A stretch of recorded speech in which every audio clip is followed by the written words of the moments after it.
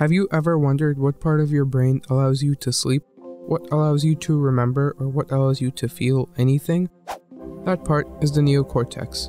The neocortex or isocortex makes up 90 to 92% of the cortical surface, and the rest is made by the allocortex. The neocortex is responsible for higher order functions, such as sensory perception, generation of motor commands, and language. It's organized into horizontal layers and vertical columns, termed cortical columns, although in this video the focus will primarily be on the layers. There are six layers in the neocortex, numbered from superficial to deep. However, the thickness, layering, and composition of these layers varies from lobe to lobe.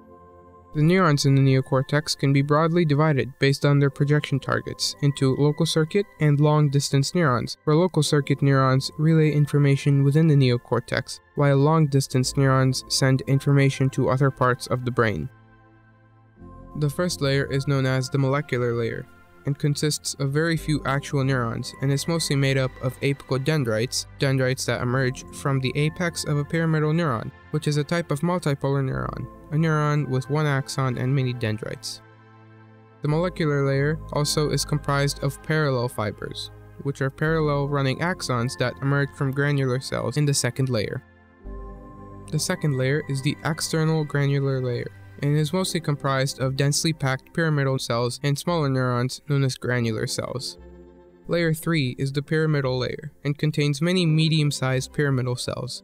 The pyramidal cells in this layer are mostly long-distance neurons because they send axonal projections to other parts of the brain. The fourth layer is named the internal granular layer due to its small pyramidal and granular cells. This layer also receives massive axonal projections from the thalamus, Due to this, layer 4 is very thick in areas that receive considerable thalamic input, such as the primary, secondary, and associative sensory areas.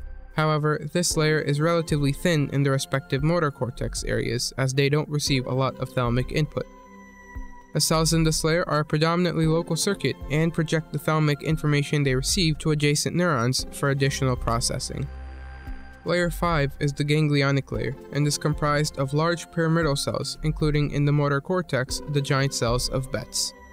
The neurons in this layer are long distance neurons and they're the source of descending axons, which form many pathways such as the corticospinal pathway, which goes through the posterior limb of the internal capsule around the thalamus, and the pons in the brainstem. The pathway splits and crosses over to the contralateral or opposite side in a process called decussation at the pyramids of the medulla. Approximately 90% of the fibers decussate here to form the lateral corticospinal tract, while the rest of the fibers continue down and form the anterior corticospinal tract. Pathways such as the corticospinal are responsible for fabricating motor output. This is done when the upper motor neuron communicates with the lower motor neurons in the spinal cord. The lower motor neuron then is responsible for sending the signal to a muscle.